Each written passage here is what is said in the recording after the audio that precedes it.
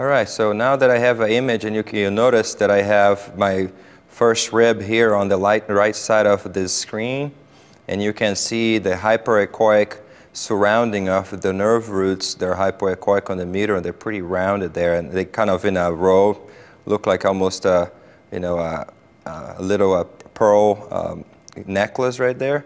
And so basically you can actually get all those roots, you know, blocked.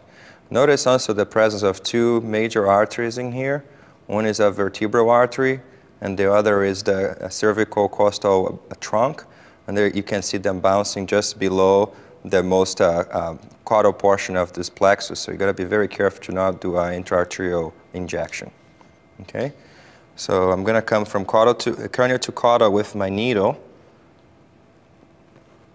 And you got to be careful also to not hit the jugular vein, which is just um, ventral to that where we are.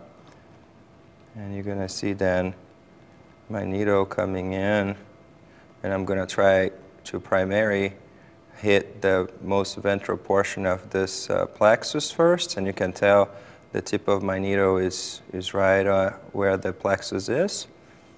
And I kind of lost a little bit of the, the, here you go, now I can see most of my needle. And you can see the needle where we're going to be injecting on the most caudal portion of the plexus. And with that, I'm going to be moving my needle cranially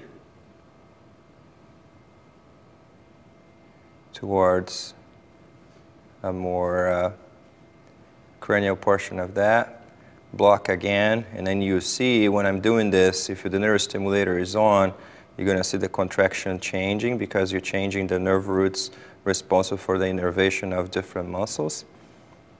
And then now I'm going to come to the most cranial portion of this plexus.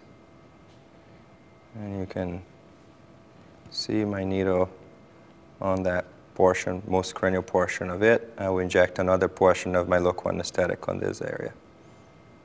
Okay? And then with that, I withdraw my needle, and we have a complete blockade then.